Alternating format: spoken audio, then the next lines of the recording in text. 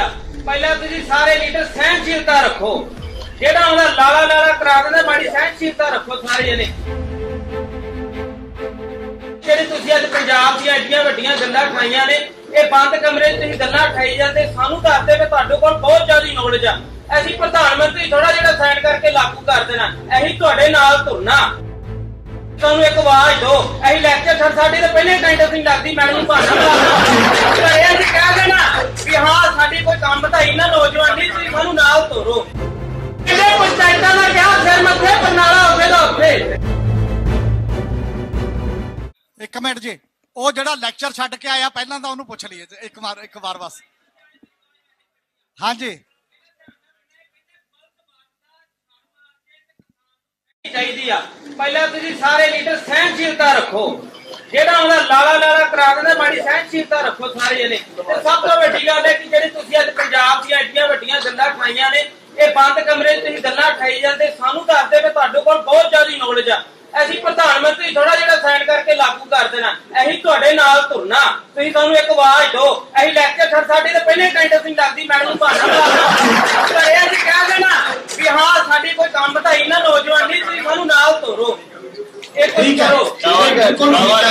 ਬੰਦ ਕਮਰੇ ਚ ਗੱਲ ਹੋ ਗਈ ਆਹ ਇਹ ਗੱਲ ਹੈ ਕਿ ਇਹ ਗੱਲ ਹੈ ਕਿ ਉਹ ਦੁਕਾਨਦਾਰ ਇਹ ਗੱਲ ਹੈ ਕਿ ਉਹ ਕਹਿੰਦੇ ਪੰਚਾਇਤਾਂ ਦਾ ਕਿਹਾ ਸਿਰ ਮੱਥੇ ਪਰਨਾਲਾ ਹੋਵੇ ਦਾ ਉੱਥੇ ਨਹੀਂ ਇਹ ਗੱਲ ਬਿਲਕੁਲ ਵਾਜਬ ਹੈ ਸਾਰੇ ਕਹਿੰਦੇ ਭਾਈ ਮੈਂ ਇੱਕ ਇਹ ਖਾਸ ਤੋਂ ਡਿਮਾਂਡ ਕਰਦਾ ਹੈ ਵੀ ਸਾਡੇ ਪਾਰਲੀਮੈਂਟ ਦੇ 20 ਮੈਂਬਰ ਹੈ ਦੋਨਾਂ ਹਾਊਸਾਂ ਦੇ ਉਹ 20 ਦੇ 20 ਦੇ ਸਾਈਨ ਕਰਾ ਕੇ ਪੰਜਾਬ ਦੇ ਹੱਕ ਵਿੱਚ ਪਹਿਲਾਂ ਦਾ ਪਾਰਲੀਮੈਂਟ ਦੇ ਇੱਕ ਸਾਲ ਔਰ ਦੂਸਰੀ ਮੰਗ ਹੈ ਇਹ ਕਹਿੰਦਾ ਅੱਜ ਦੇ ਕਿ ਇਹ ਪਾਣੀ ਦੀ ਸਮੱਸਿਆ ਬੋਲੀ ਹੋਈ ਹੈ। ਦੇ ਪੰਜਾਬ ਨੂੰ ਪੰਜਾਬੀ ਦੇ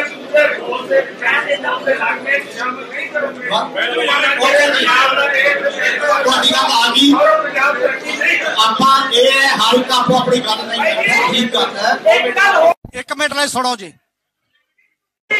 ਬਹੁਤ ਸਾਡੇ ਮਨਾਂ ਦੇ ਵਿੱਚ ਰਾਜਨੀਤਿਕ ਲੀਡਰਾਂ ਦਾ ਇੱਕ ਅਕਸ਼ ਸੀਗਾ। ਅੱਜ ਸਾਰੇ ਵਧਾਈ ਦੇ ਪਾਤਰ ਨੇ ਇਹਨਾਂ ਨੇ ਉਹ ਅਕਸ਼ ਤੋੜਿਆ। ਇਹ ਕਹਿੰਦੇ ਗੱਲਾਂ ਕਰਨੀਆਂ, ਇਹ ਗੱਲਾਂ ਖੁੱਲੀਆਂ ਇਹ ਦੂਜੀ ਗੱਲ।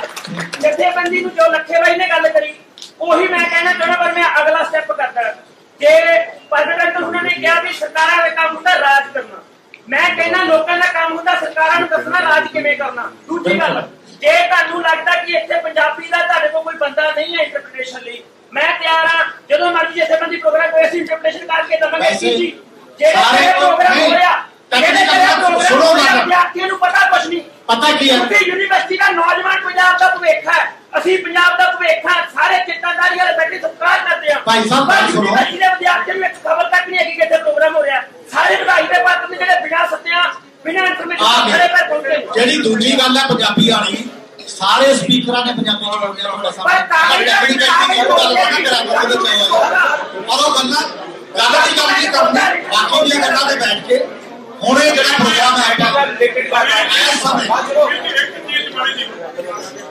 ਅਮੀਰ ਜੀ ਮੈਂ ਇੱਕ ਮਿੰਟ ਯਾਰ।